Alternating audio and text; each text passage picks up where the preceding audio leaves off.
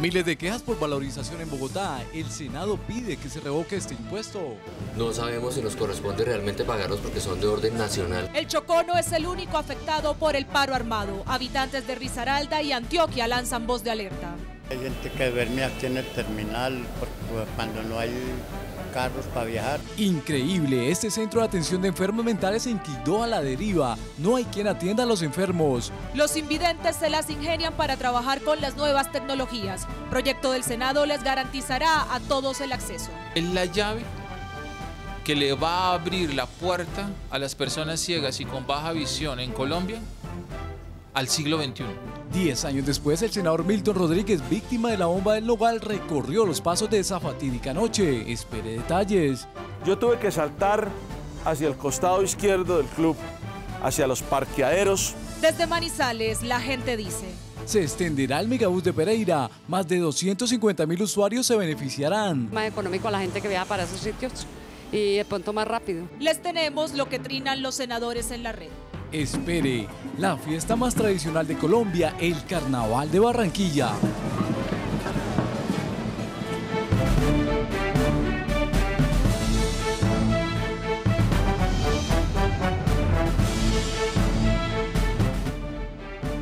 Bienvenidos, este es NS Noticias, el noticiero de los colombianos.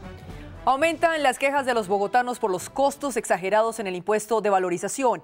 El senador Carlos Baena pidió que se revoque este impuesto. Una de las quejas es la ampliación de la zona de influencia por parte del Instituto de Desarrollo Urbano. En lugar de cobrar por una valorización local, se está cobrando valorización por beneficio general. Nos están cobrando eh, valorización, por ejemplo, Parque Simón Bolívar, Parque Los Novios. No sabemos si nos corresponde realmente pagarlos porque son de orden nacional. Están cobrando mm, valorización de unos andenes que quedan sobre la 85, sobre la calle 94 y sobre la avenida Constitución, que eso no tiene nada que ver con la calle 26.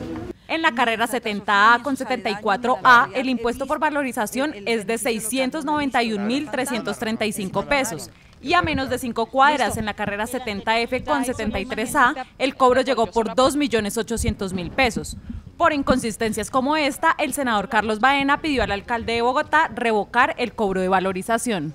Que revoque esta valorización que pretenden cobrarle a los bogotanos, porque va contra el interés social, el bolsillo y las posibilidades de capacidad de pago de cada uno.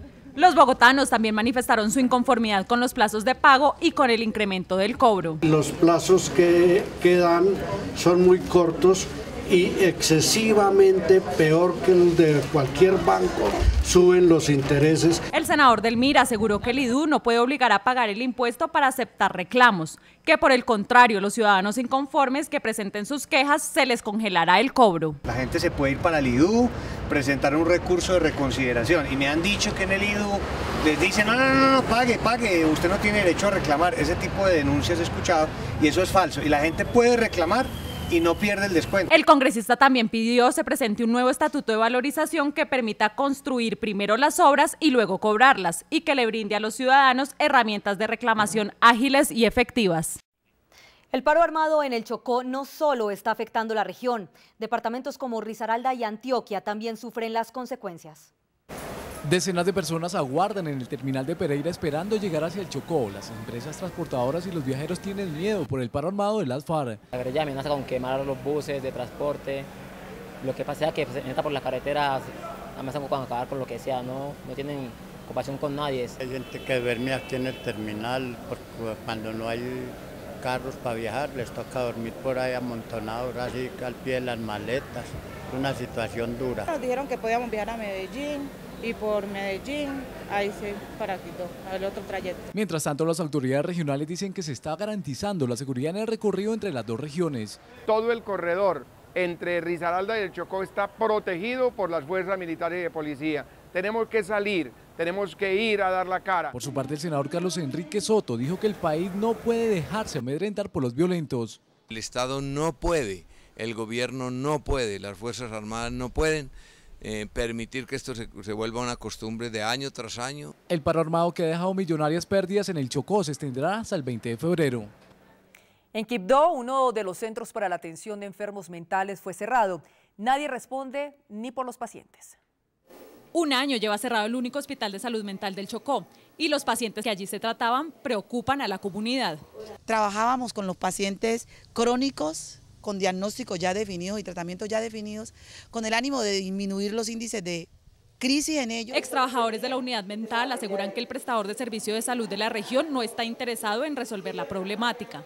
Cada vez las necesidades de salud mental en el Chocó son mayores y los servicios de salud mental son peores. Entonces uno como que no entiende esa contradicción, porque debemos mejorar y en vez de mejorar estamos restringiendo los servicios. Aunque el Ministerio de Salud giró 400 millones de pesos que deberían ser invertidos en la unidad, el dinero se utilizó para otro rubro. Desafortunadamente Caprecon, dentro de su política, la empleó en rehabilitar una, un bloque en el Hospital San Francisco de Asís, en la parte central. Actualmente el Centro de Salud Mental se cae a pedazos y los chocuanos piden crear políticas efectivas para reactivarlo y ofrecer tratamientos adecuados y oportunos a la comunidad. Que las personas que buscan las instituciones de salud sean atendidas por los profesionales especializados, enfermeras, psiquiatras y psicólogos. Los invidentes tienen que ser recursivos para llevar a cabo su trabajo. El acceso a las nuevas tecnologías se les dificulta y por eso deben contar con una ayuda extra. Un proyecto del senador Juan Manuel Galán les brindará acceso libre y gratuito a las TICs. Te voy a decir letra por letra. Diana y Andrés tienen algo en común. Ambos son invidentes.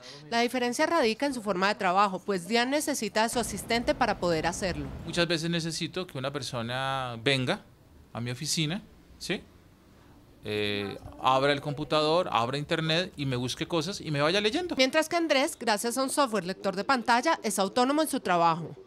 El cambio ha sido total, el cambio ha significado que yo adquiera independencia para leer los documentos que necesito leer.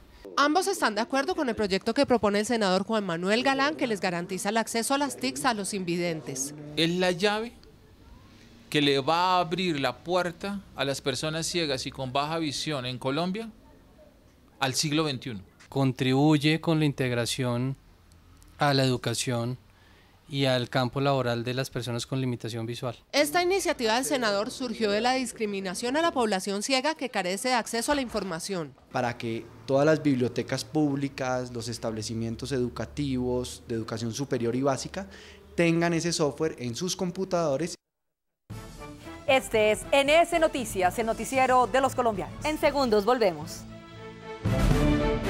El Senado también es interactivo. Para que sepan todo lo que aquí ocurre, visiten nuestra página web www.senado.gov.co. Y si quieren interactuar con nosotros, pueden seguirnos en Twitter, arroba senado.gov.co y arroba noticiero senado. En Facebook estamos en www.facebook.com slash senado.gov.co. Estamos atentos a sus comentarios.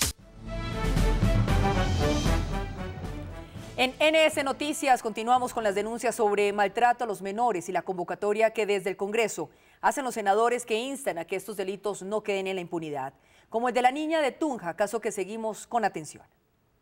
La senadora Gilma Jiménez rechazó el asesinato de Andrea Marcela y explicó que por lo general la violencia contra menores queda sin resolver. La inmensa mayoría de los delitos contra los niños, inclusive delitos tan atroces como el de Andrea Marcela, que fue asesinada de una forma aterradora, quemada, desaparecida, pues una cosa absolutamente aterradora.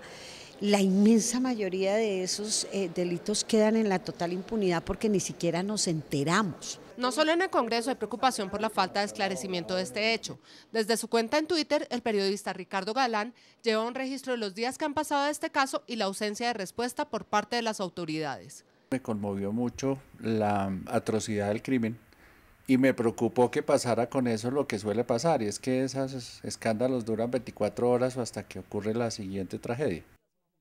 Este año se conmemoran 10 años del atentado terrorista contra el club El Nogal de Bogotá, que dejó más de 30 muertos. Uno de los sobrevivientes fue el senador Milton Rodríguez, quien recordó este triste suceso. Crónica del noticiero del Senado. Hace 10 años una bomba de las FARC estremeció el club El Nogal en Bogotá a las 8 y 10 de la noche. Y recuerdo que una posibilidad de escape a través de una viga de madera, pero obviamente le dieron prioridad a los niños y a las damas. Cuando nos aprestábamos a tratar de bajar por esa viga, el fuego se apoderó de la viga de madera. El senador Milton Rodríguez se encontraba en el quinto piso. La onda explosiva se produjo en el cuarto piso. En ese momento empezó el drama para él. Donde tuve que recorrer escenas macabras de gente que murió calcinada, de gritos, de angustia. 50 minutos le tardó escapar de la muerte. La angustia lo llevó a saltar del piso quinto al tercero, eso sí, con graves consecuencias. Yo tuve que saltar hacia el costado izquierdo del club, hacia los parqueaderos. El 3 de febrero del 2003 al interior del club se encontraban cerca de 2.000 personas. Todos no corrieron con la misma suerte del senador. Hace 10 años el atentado aquí en el club en Nogal dejó 36 personas muertas y más de 200 heridos. Murieron personas de todos los estratos y de todas las condiciones. Socios del club que venían frecuentemente. El pánico se apoderó del lugar y nadie sabía lo que estaba pasando. Algunos murmuraban que se trataba de las calderas de la lavandería. Otros hablaban que había sido una explosión en las cocinas del gas. Lo que realmente estalló fueron 200 kilos de un poderoso explosivo. Y lo que querían las FARC con ese atentado era golpear las estructuras productivas del país y sin duda alguna generar pánico al establecimiento. Hoy agradece a Dios por una nueva oportunidad que catalogó como un milagro. Que estos 10 años que he vivido son un regalo de la divina providencia definitivamente no me tocaba el turno de morir ese día. Desde Manizales, la gente le pide al Senado ayuda en sus problemas. Yo le pediría al Congreso de la República para Manizales y Caldas más compromiso del pie de fuerza de la policía.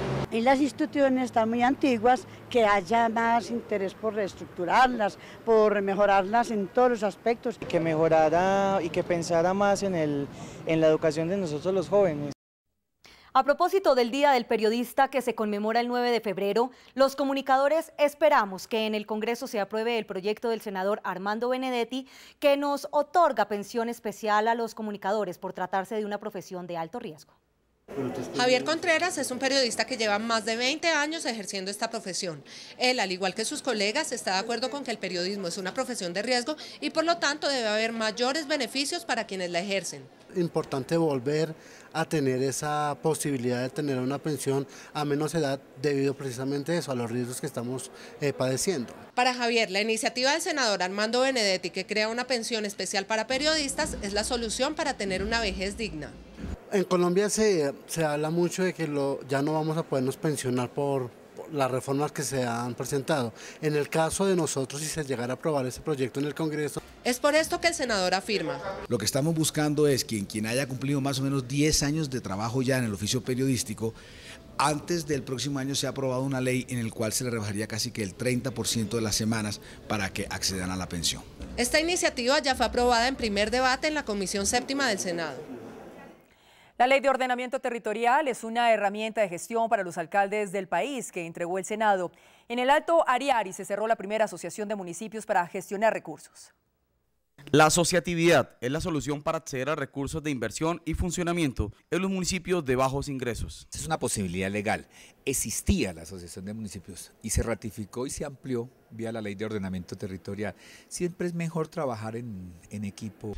Los alcaldes del Ariari en el departamento del Meta le dan ejemplo al país en materia de asociatividad.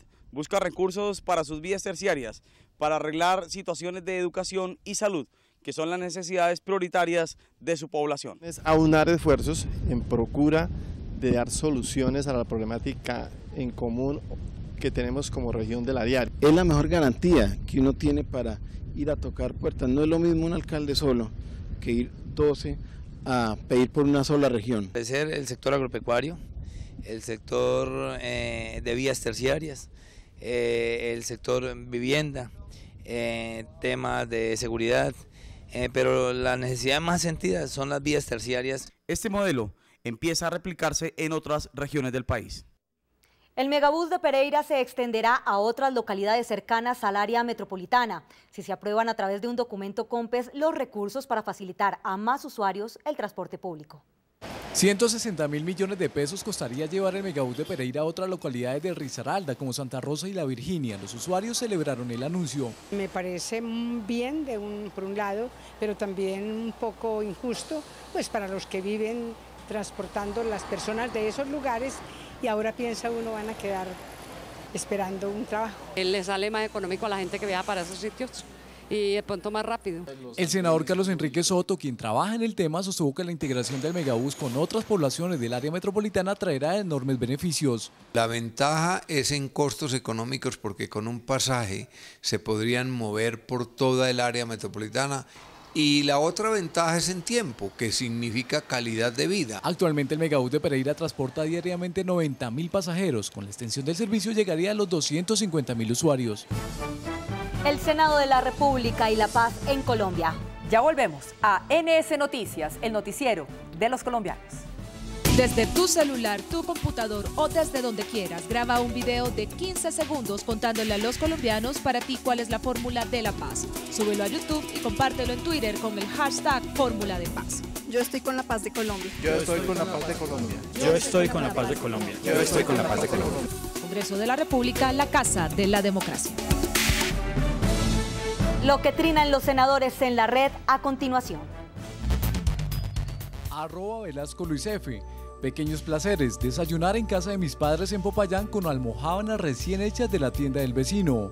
Arroba JE Robledo. El polo no renuncia a la verdad sobre el libre comercio que sale de los hechos. El polo no se acobarda, ni se rinde, ni se entrega, ni se traiciona. Arroba José David Name. La mojana sigue sumergida en sus muchos años de atraso. Sin soluciones, abunda la pobreza. A nuestros seguidores los invitamos a participar en el sondeo semanal. ¿Cómo están las vías en su región? Recibimos sus fotos, videos y opiniones con el hashtag Yo Soy NS Noticias. Con su majestuosa luna, al son del millo, comparsas y la alegría de los costeños, la tierra del Caribe comienza a encenderse y prepararse para una de las celebraciones más importantes del folclore colombiano, el Carnaval de Barranquilla, uno de los más destacados de América Latina. Al ritmo de cumbia, mapalé, garabatos, marimondas, monocucos, negritas, puló y capuchones, todo un colorido de disfraces, agua, maicena y espuma, así se prepara la gente para celebrar el Carnaval de Barranquilla. Esperando que gane Junior porque se, se arme el carnaval aquí en Quilla. Esperarlo con mucha ansia, pero también disfrutando sanamente. Eh, si uno va a tomar, pues eh, la rumba que sea sana y nada de, de peleas. Con mi hija, comprándole todo, eh, y con mucha alegría. En esta fiesta hay espacio para todos, definitivamente un encuentro de culturas. What are you going to do for the next carnival in Barranquilla? I'm going to the carnival in Barranquilla. Ese es el programa de nosotros. Así que los barranquilleros los esperan del 9 al 14 de febrero, porque quien lo vive es quien lo goza. A continuación, los temas para contar con nuestra directora Azucena Liévano. La prima de servicios para los maestros llegará pronto. El senador Jorge Eliezer Guevara logró que una ley se pusiera en práctica a través de un fallo de la Corte. La decisión de la Corte Constitucional en una sentencia de revisión de tutela que les reconoce a los maestros de Colombia, a los 300 mil maestros, la prima de servicios, 15 días al año. El senador Luis Carlos Avellaneda le sugirió al gobierno que los trámites de restitución de tierras se hagan también por acto administrativo. Nosotros creemos que hay casos que no tienen conflictividad, que no tienen conflicto de intereses y que podemos hacer un programa de restitución administrativa de tierras. Ante la difícil situación de orden público en las vías del Cauca, el senador Avirama le pidió al gobierno seguridad para sus habitantes. Nuestro pedido es un pedido que está clamando la, las comunidades de que se refuerce la seguridad porque con los hechos violentos de estos últimos días han habido muertos. El senador Efraín Cepeda se refirió a la posible aprobación del uso de drogas sintéticas. Puede que algunas de ellas no produzcan adicción, pero sí estragos en el organismo, estragos irreversibles en el organismo, de manera que tenemos que ser más responsables a la hora de emitir estos criterios. En este mes del periodista, la gerente del canal fue galardonada con uno de los tantos premios que se le entregan a los colegas. Quiero agradecer a los directivos de la Federación Nacional de Prensa por este gran reconocimiento, a los periodistas, a todos los colegas que hoy en su día tienen un reconocimiento especial y a ustedes que hacen un trabajo excepcional en cada una de las provincias. La próxima semana más temas para contar. Bien, y hasta aquí la información. Agradecemos su compañía. Somos NS Noticias, el noticiero de los colombianos. Hasta pronto.